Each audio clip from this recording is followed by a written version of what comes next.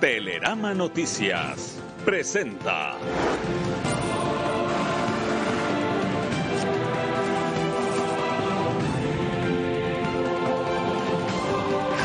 ¿Hacia dónde vamos? Amigos televidentes, buenas noches, bienvenidos, gracias por acompañarnos. Estamos listos para presentarles un nuevo programa de Hacia dónde vamos. Hoy hablaremos de un tema sin duda fundamental, cómo recuperar la imagen de la Policía Nacional que está muy afectada por el femicidio de María Belén Bernal, ocurrido al interior de la Escuela Superior de Policía en la capital de la República y que ha desencadenado una ola de críticas, reflexiones y exigencias de cambios. Y para esto tenemos la presencia virtual del coronel en servicio pasivo, Guillermo Cobo, experto en temas de Seguridad Interna y Externa. Coronel, buenas noches, bienvenido, gracias por acompañarnos. Hernán, buenas noches. Gracias por permitirme dirigirme al, al, país en momentos tan difíciles para la institución policial. Coronel, el femicidio ocurrido al interior de la Escuela Superior de la Policía, que según los relatos no le ayudaron en momentos difíciles y después se le va a la policía de las manos pese a que lo tenían a Germán Cáceres, presunto implicado directamente en el femicidio. ¿Cómo interpretar esto? ¿Cómo analizar inicialmente esta situación, coronel? Bueno, Hernán, no se olvide que esto tiene una trayectoria larga. Desde viene desde la década saqueada en el Ecuador, cuando no se permitió ya que haya un verdadero escogitamiento en las Fuerzas Armadas y en la policía. No le voy a decir que la corrupción es de ahora. Ahora hay más tecnología. La corrupción está generalizada en el Ecuador. Vaya a ver en la justicia, vaya a ver en el asunto legislativo. La justicia se ha prostituido en, el Ecuador. ¿Quién no hizo eso? Ustedes conocen perfectamente. Fíjese que un artículo de la Embajada de Estados Unidos el año 2008 hasta 2009, nombran de comandante de policía a un señor que tenía contactos con el narcotráfico, con la corrupción, que hacía todo, eso dice la Embajada de Estados Unidos. Ayer estaba viendo un, un artículo que me impactó. Lo que le pasa a la policía desde mi punto de vista, la policía siempre quiso ser una institución que la ciudadanía le conozca, le quiera y le respete y ganar prestigio. Es por eso que en muchos casos había un falso espíritu de cuerpo tratando de que la imagen de la policía no se deteriore. Este caso del teniente Cáceres y su esposa es la gota que derramó el vaso. Hay muchas situaciones. No es posible que los instructores arreen con las alumnas. Es decir, eso es parte de una corrupción. Hay corrupción al ingresar a esta institución, hay corrupción para graduarse, porque la pregunta que se hace a la ciudadanía es, ¿las señoritas que estuvieron farreando perderán el año? ¿Estas señoritas no se graduarán o serán las elegidas para graduarse? Realmente eh, este caso impactó en la ciudadanía, pero creo que no lo supieron llevar adecuadamente por ese famoso espíritu de cuerpo que quiere la policía para tratar de tener mejor imagen a nivel nacional. Pero ¿qué debo decir? No se puede generalizar que la institución es mala. Los malos son los elementos que lo conforman y le hacen daño. Esos son los malos. Estamos de acuerdo, coronel. Coronel. No se puede generalizar. Eh, eh, quería consultarle si es que se da esto dentro de la policía, la encargada de vigilar los derechos humanos, evitar femicidios y capacitar sobre aquello, significa que ellos no estuvieron preparados o no están preparados. Hay una necesidad de una reingeniería total del sistema de, de formación y reclutamiento, le consulto. Nadie ha dicho todavía cuántos años tiene el teniente Cáceres en la institución. no creo que pase de los 10 a 12 años. Cuando el señor que fue presidente en esa época, de la época saqueada, prohibió que haya un escogitamiento. Si hay instituciones como la policía y Fuerzas Armadas no hay gente, gente escogida. Vea, y los viejos militares y policías tenían la razón. Cuando en el escogitamiento se veía que ningún pariente del aspirante tenga nada que ver con narcotráfico, que no sea delincuente, que no haya robado, que no haya saqueado al país. E inclusive le digo, exagerando, era un asunto del que no venía, no procedía de padres casados, casi no era aceptado en las decisiones militares y policiales.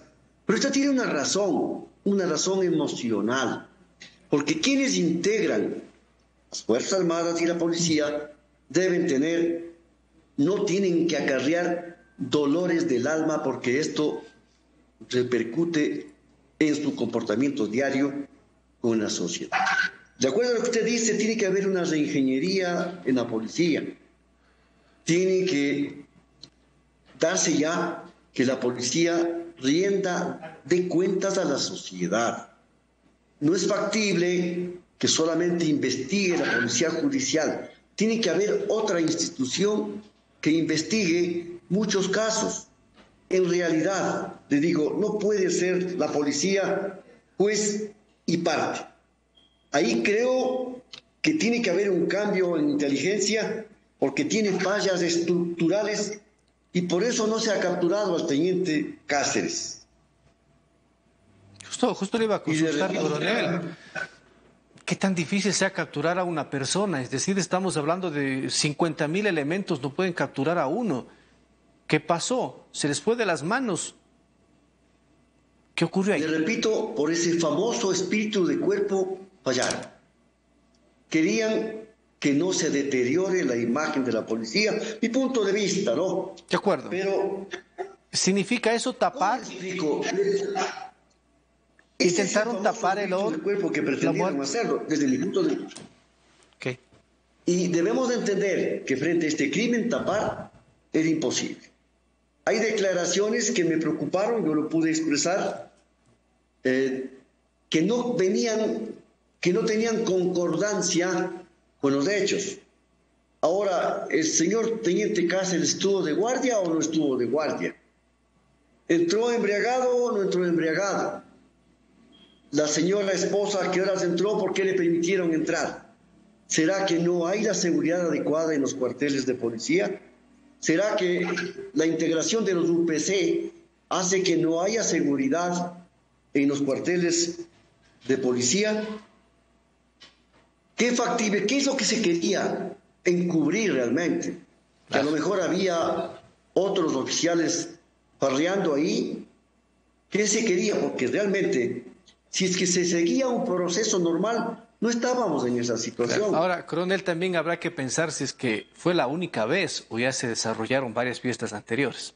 Permítame, por favor, coronel, una pausa comercial. También me gustaría comentarle eh, escuchar sus comentarios más bien con respecto a los cambios que se, que se están realizando tanto en el Ministerio como en la Policía Nacional. Volvemos enseguida. Usted está viendo Hacia dónde vamos.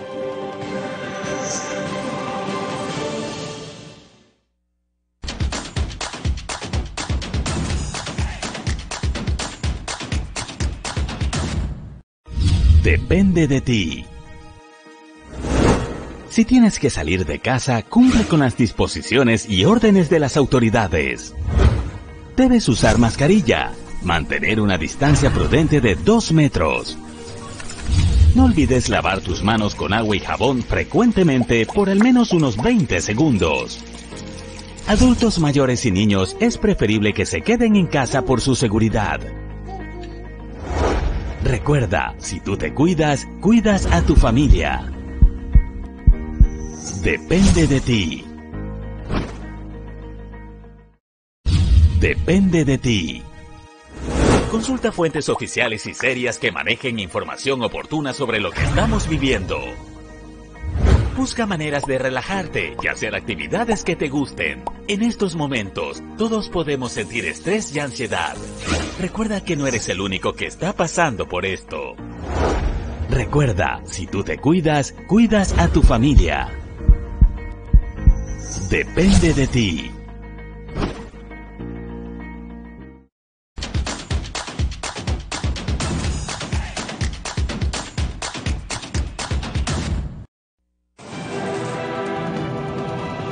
Continuamos con ¿Hacia dónde vamos? Analizamos, amigos, el tema de la Policía Nacional y el femicidio de María Belén Bernal con el coronel Guillermo Cobo. Coronel, pregunta planteada.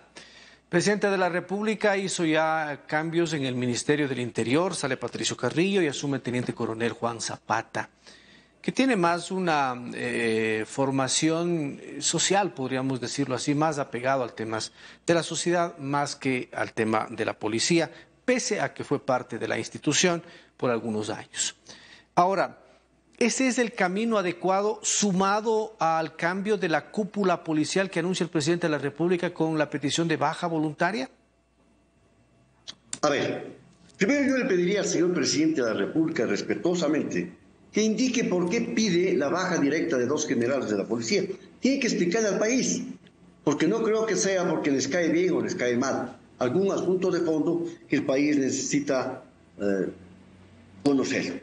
Quiero hacer un análisis pequeñísimo. El general Carrillo, a pesar de que ascendió con Correa y fue comandante de la policía con Moreno, tiene experiencia, tiene grado y tiene liderazgo o tenía liderazgo en la policía. El teniente Coronel Zapata, no quiero hablar de los videos que están eh, viendo, rodando en, las redes sociales. El teniente Coronel Zapata no tiene grado, no tiene experiencia y creo, sinceramente, que no tiene liderazgo de la policía. En estos momentos tan difíciles para la policía, poner a alguien sin liderazgo en esta institución, le veo como una debilidad y le pido al señor presidente de la República, él tiene todo el derecho de poner a quien él crea conveniente, pero sí hay que analizar algunas cosas. Hubiese sido importante que en estos momentos tan difíciles, no solamente para la policía, para la seguridad del Estado ecuatoriano, sea un oficial de mayor jerarquía y de mayor experiencia y sobre todo de mayor liderazgo. Ahora, es un cambio que desde mi punto de vista no me agrada para nada. Coronel, el tema de, de un general, ya lo tuvimos a Patricio Carrillo, no le fue bien. Hay otros que dicen, en cambio, que no debe ser ni policía ni ex policía, debe ser alguien civil. ¿Los extremos son buenos? Bueno, eh, usted sabe que en la época saqueada ya tuvimos. ¿Usted cree que fue bueno?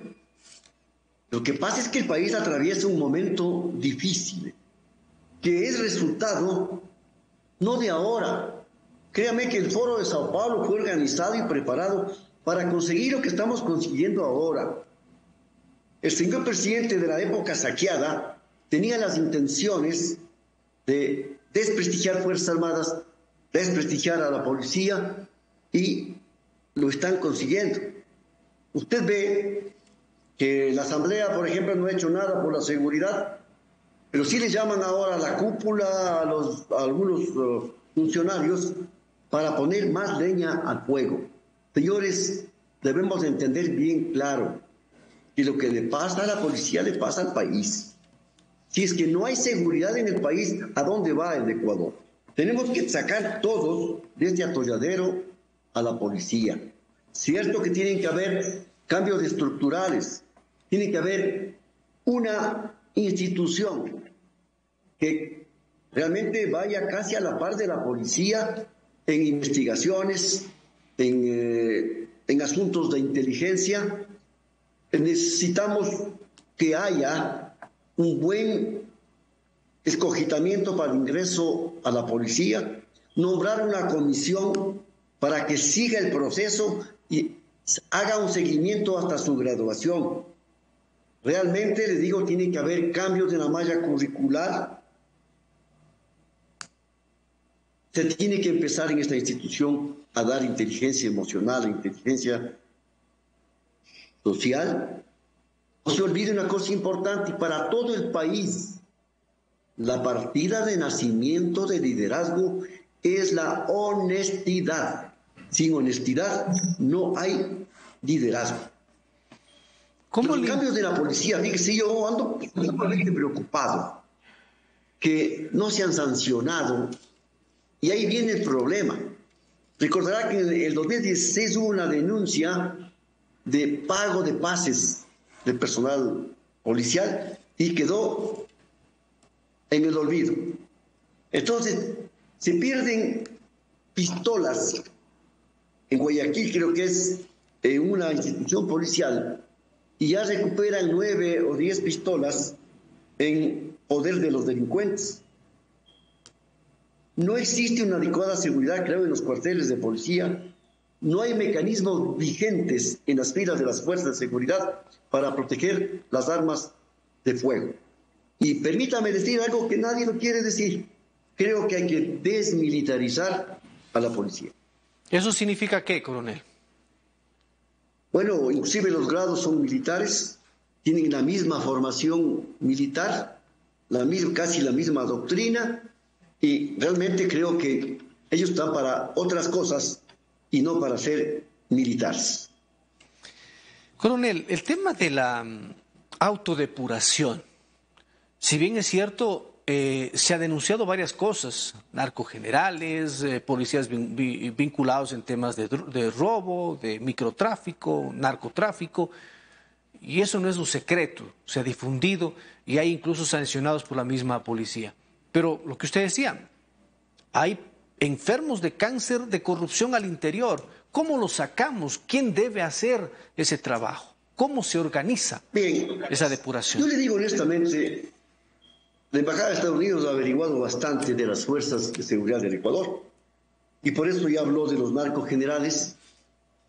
Creo que tenemos que tener contacto con Estados Unidos que nos den la lista de todos los que ellos tienen y también creo sinceramente, conozco al interior de la policía un poco, conozco generales eh, honestos, conozco personal de coroneles, eh, de tropa también honestos, porque no vamos a decir que son todos los policías los honestos o corruptos. Hay un gran porcentaje, sí, que se han metido en el narcotráfico, en la delincuencia, pero en definitiva, usted recordará que hace algún tiempo hablamos de esto, el señor presidente de la República tiene que depurar las instituciones de seguridad. No es factible. Usted puede sacar como conclusiones, ¿por qué no se solucionan los problemas de las cárceles? ¿Por qué no se pueden hacer esta guerra? Lo estamos perdiendo con el crimen internacional organizado, con el narcotráfico. Pero si tenemos elementos de la policía y posiblemente o supuestamente también de Fuerzas Armadas, esta guerra no lo vamos a ganar nunca, porque tenemos metido en nuestro territorio al enemigo. Entonces, creo que hay que depurar. Tenemos que, mucha gente le critica al señor presidente Lazo cuando pide auxilio o pide que le ayuden. Es que fíjese el panorama que tiene también Lazo. La policía captura delincuentes, narcotraficantes, los señores jueces los sacan, habeas corpus, etcétera, etcétera, etcétera. Y por último, a un señor que, que destruyó el país, ya le anulan el proceso. Los señores de la Asamblea sacan a todos ante lo que dice la Constitución, que pueden tener amnistía por asuntos políticos. Ellos creen que ignorantemente, perdón con el respeto de ciertos asambleístas que sí hay preparados, con una ignorancia casi absoluta, dicen que todo es político. Al señor presidente Lazo le ha tocado vivir esta etapa en donde es un reflejo desde hace 15, 16 años que le propusieron, que se propusieron destruir la institución armada y policial. Coronel, Fíjese este dato. Permítame una nueva pausa comercial. Luego seguimos dialogando. Me gustaría también conocer sobre el tema de por dónde empezar este cambio en la policía. ¿Qué recomendación se le puede hacer? Las cosas ya están dadas al teniente coronel Juan Zapata. Volvemos enseguida. Usted está viendo Hacia dónde vamos.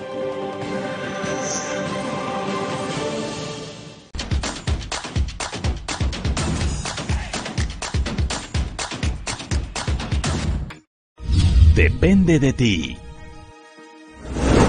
Si tienes que salir de casa, cumple con las disposiciones y órdenes de las autoridades. Debes usar mascarilla, mantener una distancia prudente de 2 metros. No olvides lavar tus manos con agua y jabón frecuentemente por al menos unos 20 segundos. Adultos mayores y niños es preferible que se queden en casa por su seguridad. Recuerda, si tú te cuidas, cuidas a tu familia. Depende de ti. Depende de ti. Consulta fuentes oficiales y serias que manejen información oportuna sobre lo que estamos viviendo. Busca maneras de relajarte y hacer actividades que te gusten. En estos momentos, todos podemos sentir estrés y ansiedad. Recuerda que no eres el único que está pasando por esto.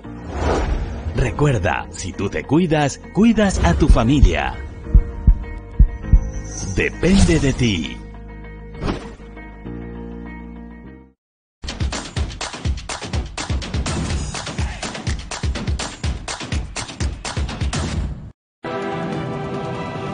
Con ¿Hacia dónde vamos?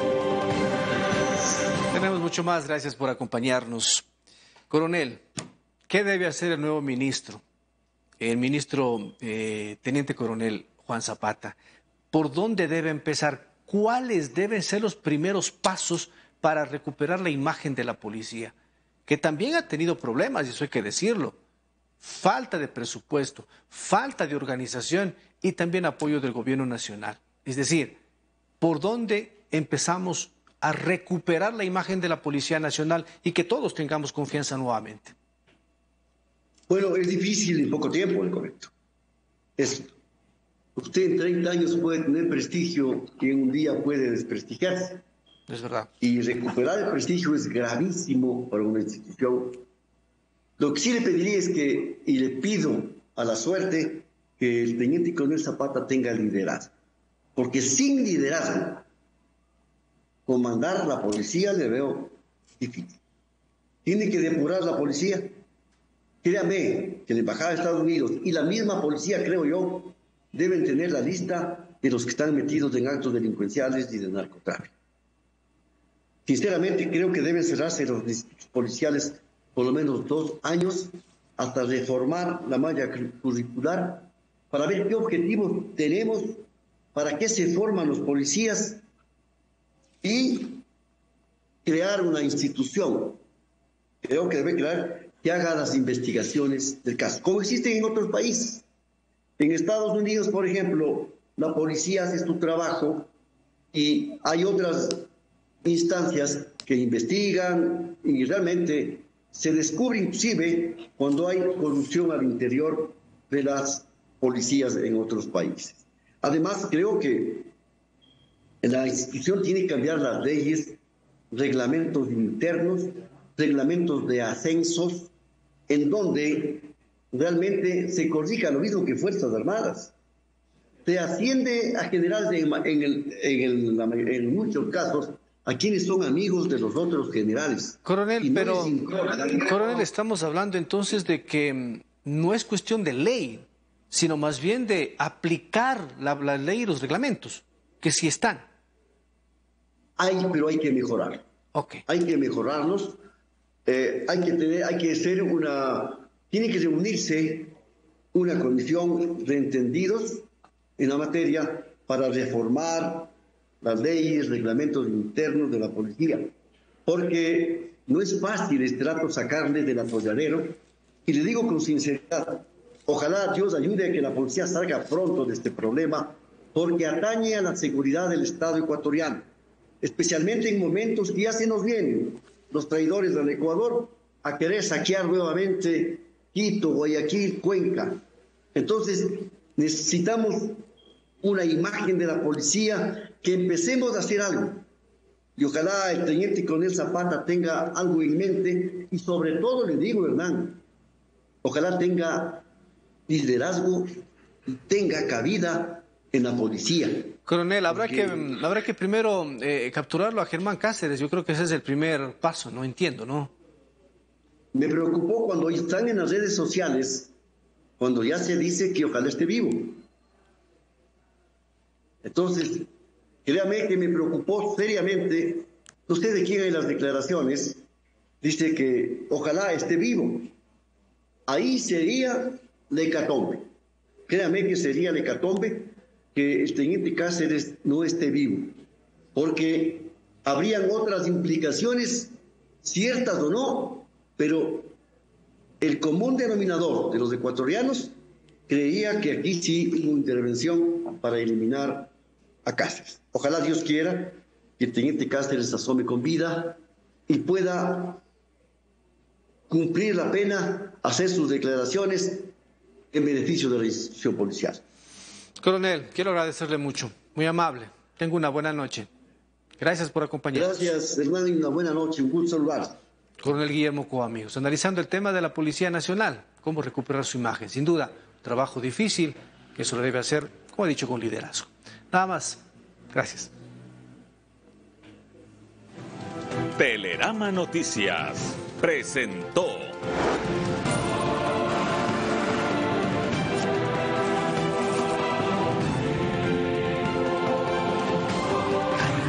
¿Hacia dónde vamos?